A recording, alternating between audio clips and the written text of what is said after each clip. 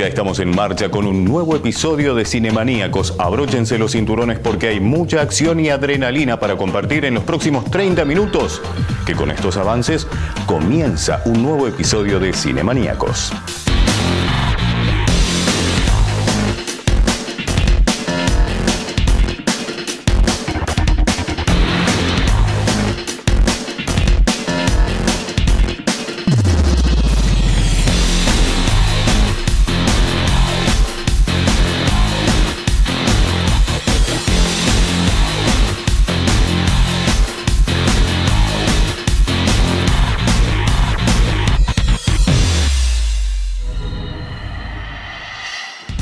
Momento ya mismo de meternos en la primera de las salas para conocer los trailers de esta semana.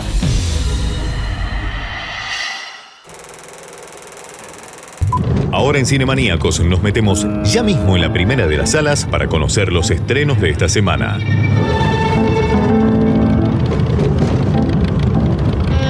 Da Argentina? Sí, Argentina. ¿Brasileiro? Sí, de Iguazú. Ah, Iguazú. Muito obrigado. Morro de Muquem, morro de cargador, morro. Uf, 11 milhões de morros. É natureza pura. Pode seguir.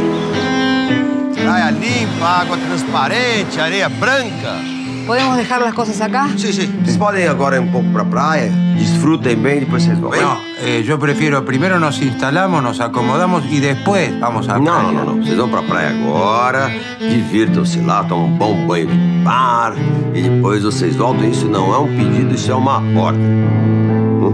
Saúde. Estamos atravesando una situación un poco particular. En este momento en particular no estamos viviendo en pareja en Buenos Aires. Vocês estão juntos ou separados, afinal? Técnicamente Separados. separados. Técnicamente. Preparado. Me pasó algo muy fuerte con César recién. ¿Quién es César? El hijo de Marco. Quero te convidar pra fazer um passeio num lugar que você vai se arrepender. Increíble. El color del agua, todo. Eu gosto de você. Este Florianópolis es otro, radicalmente diferente al anterior. Mi falta hace que me lo aclare, Lucrecia. Me siento atraído por el, el Larissa. Nós duas somos duas brujas instintivas, eu acho. ¿Cómo se dice la gente que toma cerveza todo el día? Brasileiro!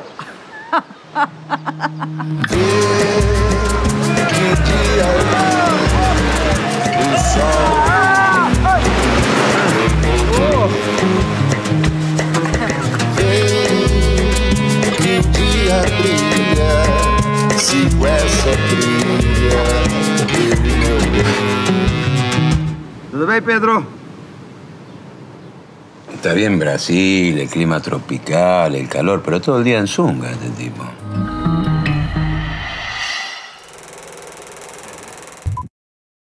Y seguimos conociendo los estrenos. Esto es El Príncipe Encantador. Te sabes sus historias. Philip es conocido como el príncipe encantador luego de recibir un terrible hechizo donde debe encontrar el amor verdadero antes de su cumpleaños 21 o de lo contrario, el amor desaparecerá de su reino. Sumado a esto, el hechizo hace que todas las princesas se enamoren de él, haciendo difícil que pueda así identificar a su real amor. ¿No te cansas de ser odiado por todos los hombres de este reino? ¡Se robó a mi novia! Sí, pero me encanta gustarle a ellas, pa. Con la ayuda de Lenor, una cazafortunas que está en busca de su riqueza, iniciará el camino para salvar a su reino del fatal destino. Cuando cumpla 21 años, este hechizo se concretará y todo el amor morirá. Su culpa. Es en tres días. Príncipe encantador, llegó la hora de elegir a tu verdadero amor y liberar a todas las damas del hechizo. Es súper fácil. Bésame y salvemos a todos. ¿En serio a alguien le surte efecto? Solo a cada chica a quien se la aplico. Adiosito. ¡Wow! Con ella no funcionó. De los productores de Shrek. Así que debo elegir de estas tres princesas a mi real, real amor. El destino del reino depende de eso. Tu reino tiene suerte, porque yo puedo ayudarte a lograrlo. ¡Empecemos ya! Oh, hello. Espera. ¡Me siento vivo! Inesperado. ¡Por lo que más quieras en el mundo, ayúdame! En este encantador cuento de hadas. ¿Cuál es tu plan? El real, real amor lo tendré al conquistar el reto de las tres tareas imposibles. Uno, cruzar el paso impasable. ¡Agárrate! Dos, sobrevivir el insobrevivible ataque. Estamos ¿Qué muertos. onda? ¿Hermosas e irresistibles florecillas? ¿Mm?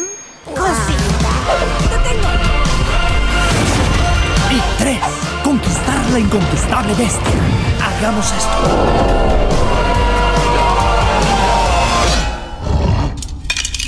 ¿Eh? Bueno, esto lo imaginé muy diferente. El príncipe encantador. Te encantará muy pronto.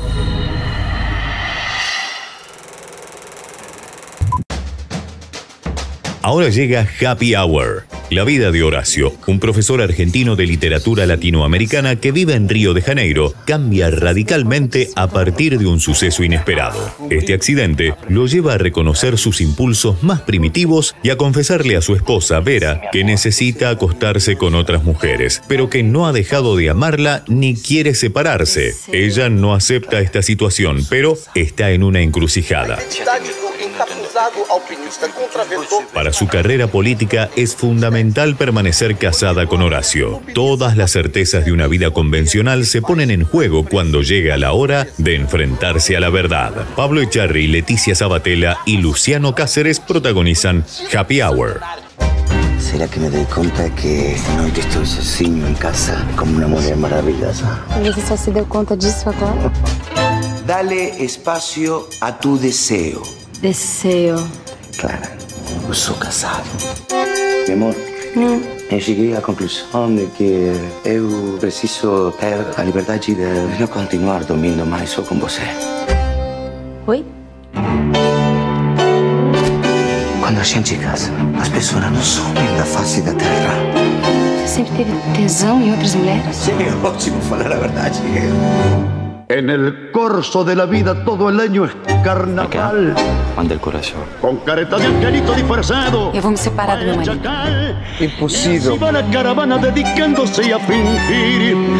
Porque sabe que sin grupo no es posible ya vivir.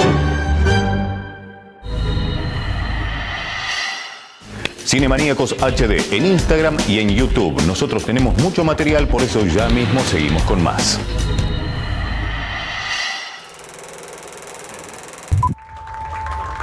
I'm very honored to be named Kehoe Citizen of the Year. I'm just a guy who keeps a strip of civilization open. When you drive the same road day after day, it's easy to think about the road not taken. I was lucky. I picked a good road early, and I stayed on it. Mr. Coxman, What can I do for you? it's about your son. Y esto es Venganza. Liam Neeson interpreta a Nils Coxman, un hombre quien vive sin sobresaltos entre montañas y nieve, pero un día toda su paz se desmorona. Recibe la terrible noticia de que su hijo ha muerto debido a una sobredosis. De esta forma, acaba envuelto en una guerra de narcotraficantes mientras busca venganza por lo sucedido. Hans-Peter Molan dirige la remake de su propia película del 2014.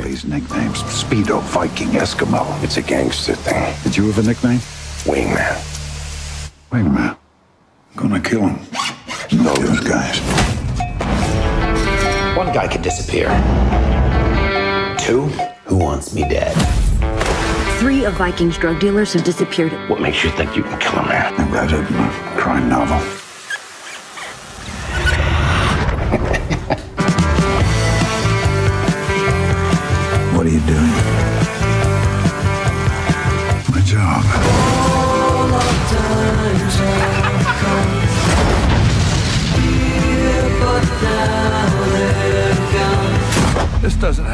Keo. It just did. Seasons don't fear the reaper, nor do the winds or the rain.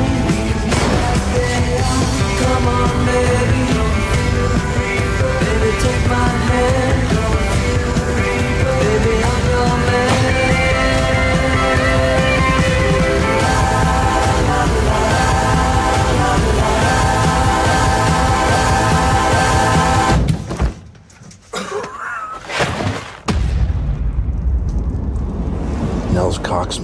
Citizen of the Year.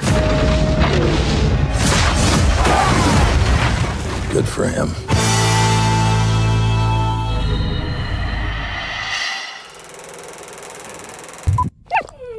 Do you want a tiny piece of cheese? Yes, Y en la última de las salas vemos Mis huellas a casa. Lucas encuentra a una perrita en la calle a quien adopta y llama Bella. Un día persiguiendo una ardilla, Bella se escapa de la casa y se pierde. La película sigue la travesía que hará el animal para regresar a su casa, atravesando peligros y conociendo nuevos amigos.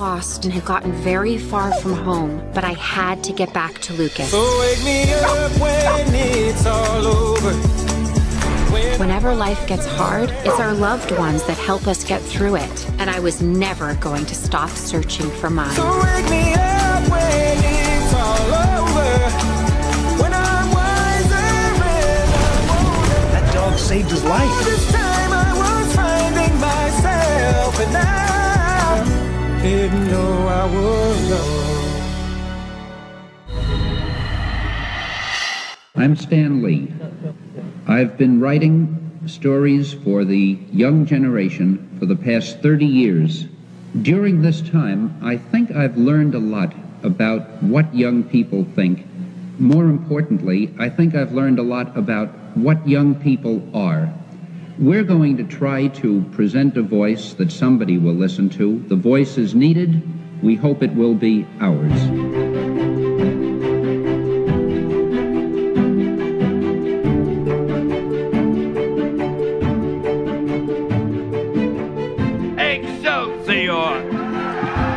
Ladies and gentlemen, the one and only Mr. Stan Lee.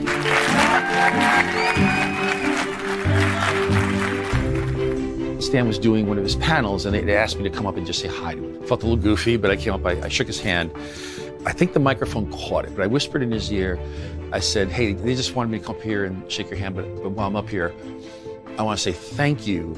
You saved my life." Because the life that I have today, there's a direct line to that first comic book to here. Well, Stan's best creation was always Stan. As a creative figure is one thing. Stan, as a personality, was able to somehow tap into his own larger than life, self effacing and self aggrandizing at the same time personality. As I would describe it, that P.T. Barnum aspect of him, it's just something he infused the group with. And it's something that the people who followed him have been able to kind of keep that energy going. I think Stan Lee is going to be an icon, what he represents, what he was able to accomplish. He built American mythology because stories are really what stay with us. Those characters that he created and what he infused Marvel, the brand, with have always shown through. Even if they have superpower, they have to be believable. What they do has to be what any normal person would do in those situations. And the idea that he championed all kinds of different voices, all kinds of points of view, and the concept of diversity and equality and conversations about, you know, social politics, all these things he had been doing for, for years. And now it's at the forefront of everything that we talk about. I just think he was just connected in that way, and he was connected to who his true audience was and who he was really writing for. He complemented that with always being hopeful, with his own first person personality of being Stan. My earliest memories of Stan were reading those soapboxes. You felt like he was talking directly to you and no one else. What I didn't realize was that there was a kid behind me at the candy store reading the same thing, feeling the exact same way. His ideology was very clear. It was very black and white how to be good, how to treat people equally. And that's a really powerful impact to lean into the light as much as you can, even if there's darkness all around you. In writing the soapboxes, I used to just talk to the readers, anything that came to my mind, just to make the books not seem like something cold and aloof and something you buy and you throw away. I wanted them to feel buying a Marvel book was like visiting an old friend. Without that, we wouldn't be experiencing the success we had today. People like that, creative geniuses like that, you can't help but walk away learning lessons. They, they have a way of delivering messages that, you know, just resonate with those of us who, who, who have followed his work and followed the characters he's created. He made it feel intimate and that anybody could belong to it. We're really lucky to have him really define us because it's really given us something to move forward with. There will never be a world without Stan Lee. He's the heart of the Marvel Universe.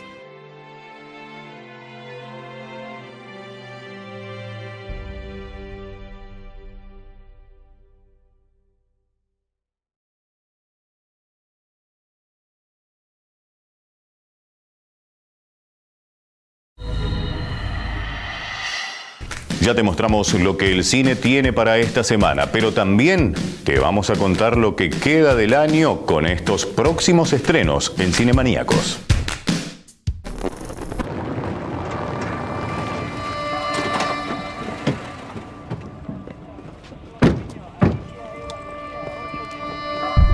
No, no, no. No bajes.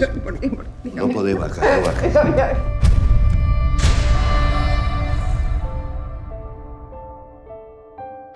Estaba durmiendo. Bajé. Y la vi muerta en la cocina. Es tu viejo.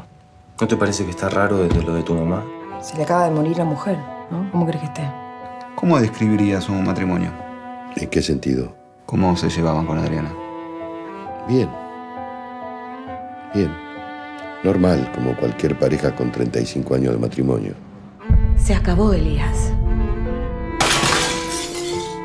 El día que tu mamá se murió, yo los escuché discutir en la cocina muy fuerte. De verdad, Carla, acá hay algo que no cierra.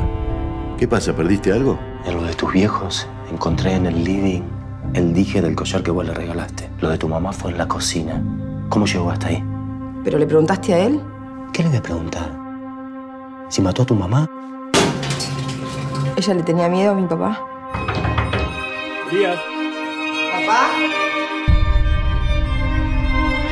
Son unos inoperantes. Serás vos, serán tus hijas, pero alguien me va a pagar. Roque, Roque.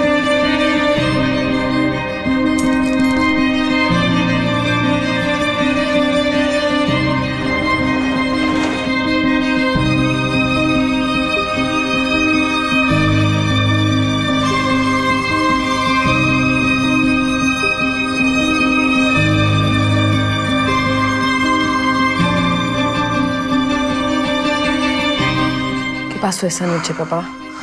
¿Qué pasó la noche que mamá murió?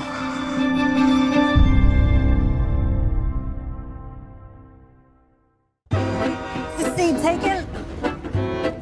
I'll just get a glass of water, please. I have to save all my money because I'm here to find my sister. She's been taken. Taken? Like, Like by men who sell hot white virgins to cajillionaires on yachts. I am very moved by your story. Order anything you like. I'll have a club sandwich and an order of fries, two slices of cake. Do you want any cake? No. Three slices of cake and a Diet Coke. Impressive. I'm a con artist. Sisters in arms. I had no idea how small time I was until I met you. Penny. Why are women better suited to the con than men? Because we're used to faking it. Because no man will ever believe a woman is smarter than he is. Is it valuable? $500,000. I like it because it's shiny. I could be the partner you never knew you needed. Teach me your sugar baby ways. Take this to the gastroenterology person. First lesson there is nothing more compelling to a man than a vulnerable woman. Observe. Wow, you can just tear up like that. Can you make the tear roll down your cheek? Oh, oh. Now you try. Are you constipated? She's If you want to be like me, you must be trained for any situation. She always knows her place. She's got style, she's got grace. She's a win. She's ready. He's the mark. He's a tech millionaire. Billionaire, I bet. Try to be as inconspicuous as possible. Coming through. Yep, blind person walking here. If this person would just scoot over, would you mind, sir? Sir?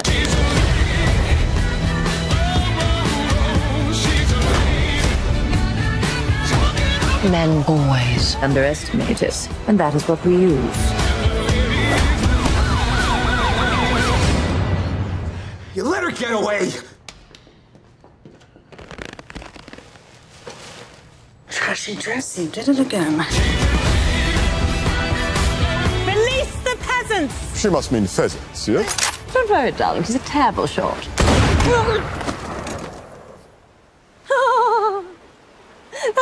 That was unexpected.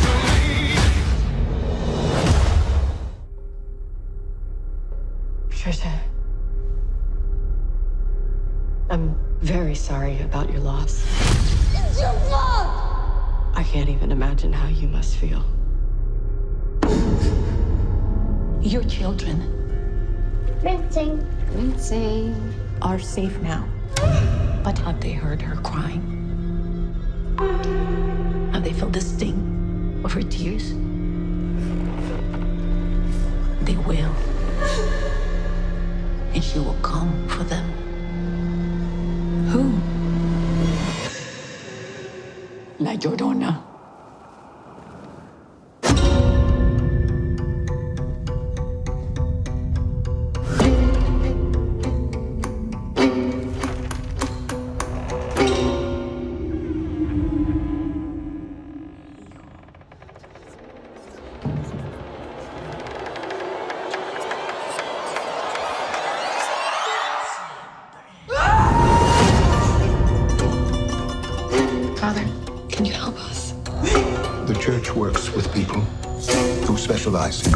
Situations like this. Que es La Llorona. Is she coming? She's already here. What do we do?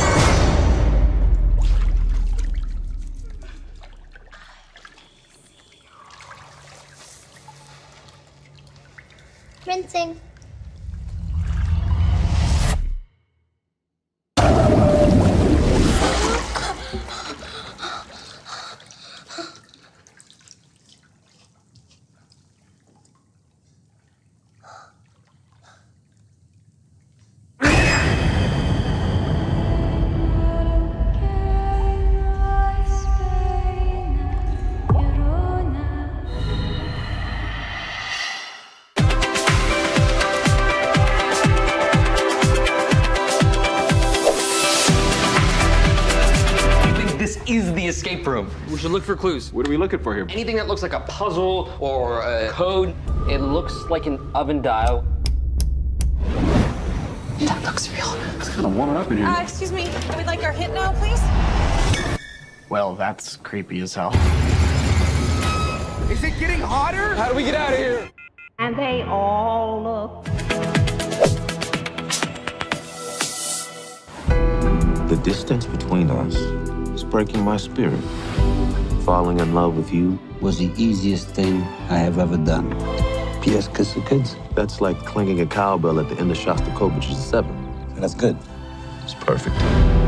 What do we do about the bones? We do this.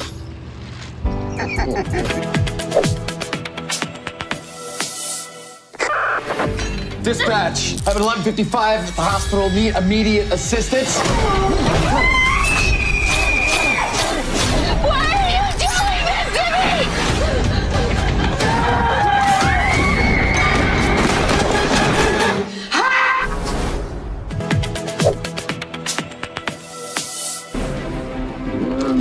Sabes que mi tierra no es un juguete para masticar, ¿verdad?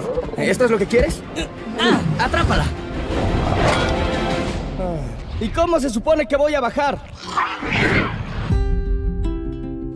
¡Hey, amigo, espera!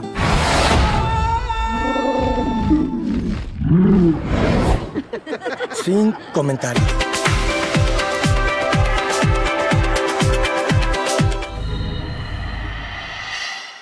Como toda película tiene su final, algunos felices y otros no tanto, para el nuestro es un final feliz. ¿Por qué? Porque nos vamos a reencontrar la semana próxima en este canal, a la misma hora de siempre y con mucha más información del cine. Gracias a todos por estar ahí con esta cartelera. Nos vamos. Gracias. Chao.